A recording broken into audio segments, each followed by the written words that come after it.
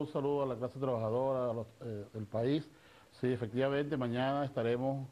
desde las 9 de la mañana concentrados acá en este espacio conquistado por la revolución, por los trabajadores, los movimientos sociales, eh, en fin, todo el pueblo acá al Canal 8 para darle apoyo al personal que elabora acá, al personal revolucionario, que está acá al frente de este importantísimo medio de comunicación, del cual en el paro, por supuesto, aquel célebre funesto personaje de la gorra para atrás, quiso, dijo que había que cerrar esta porquería, así vulgarmente lo dijo, y por supuesto la revolución reivindica hoy nuestro espacio de comunicación.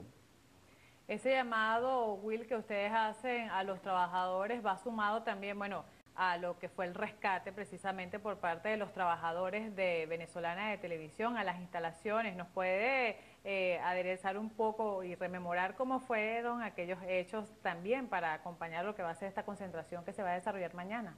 Bueno, efectivamente los trabajadores acá en este espacio dieron la batalla y también hubieron eh, muertos pues eh, en eso ah, defendiendo este canal y nosotros queremos los trabajadores, los movimientos sociales, el,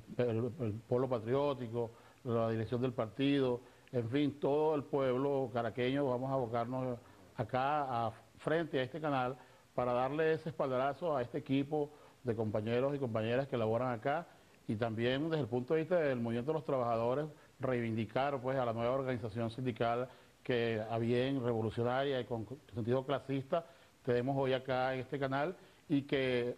por supuesto eh, va a tener un grandísimo festejo para la próxima semana cuando firme su al fin su convención colectiva después de 20 años. Nosotros como trabajadores, como central, que, a la cual pertenece esta, esta organización sindical, queremos también compartir con ellos parte de esa alegría con todos los trabajadores. Sí, Will, eh, nos gustaría y es propicio hablar también un poco de la conciencia de la masa trabajadora del país, eh, también tomando en cuenta, bueno, o referencia esta fecha histórica que comienza desde hoy 11, 12 y 13 de abril y recordemos que en el año 2002 y un poco previo a lo que fueron estas, eh, estos hechos de, de, estas fechas en abril, también se produjo ese sabotaje petrolero. ¿Qué nos puede decir usted o qué, qué reflexión cabe eh, recordar en cuanto a lo que es la, también la clase trabajadora? ¿Qué podría decir usted? Bueno, mira, primero dijiste algo muy importante, la conciencia de la clase trabajadora, que sabemos que desde que este gobierno revolucionario llegó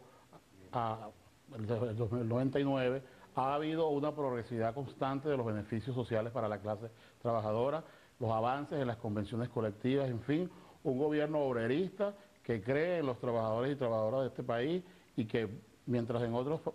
supuestos países desarrollados hoy el capitalismo barbarie hace desastrosa pues todos los beneficios sociales de los trabajadores, acá en Venezuela el gobierno del comandante presidente reivindica a los trabajadores y trabajadoras. Por eso nosotros creemos que fue el 2002, a pesar de lo